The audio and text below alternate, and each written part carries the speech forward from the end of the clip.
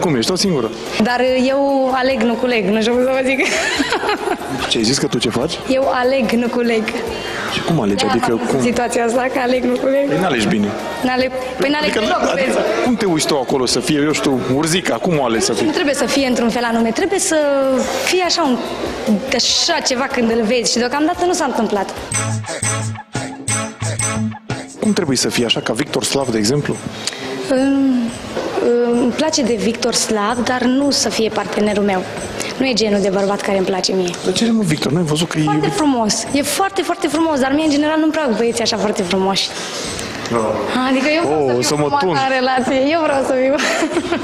Victor, în afară, e, e, e, și foarte, nu știu, așa, iub, iubitor. Ai văzut până cât te-a trecut el? Da, cred, deci eu apreciez, apreciez băieții așa ca Victor, dar nu aș vrea un iubit Adică așa. Vrei să spui că a făcut bine? Aia l-a înșelat și el s-a întors? În iubire faci orice. Tu ai face orice pentru iubire? Da. Adică dacă te-ar înșela unul, tu te întorci la el? Ehm, Eu cred că o să fiu așa, mai înșelat, vezi. Ai grijă ce faci. Ștefan Bănică. Da, e un bărbat foarte frumos, dar uh, mai mult îmi place Cătălin Botezat. Dar e dragoste Jur că dragoste Sau mai îmi place Adrian Mutu.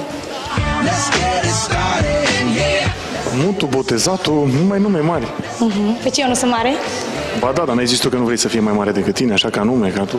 Nu ca nume, ca frumusețe am zis. Bine, hai, nu-i vreau nici pe ei dacă sunt mai frumoși ca mine. That's a true fact.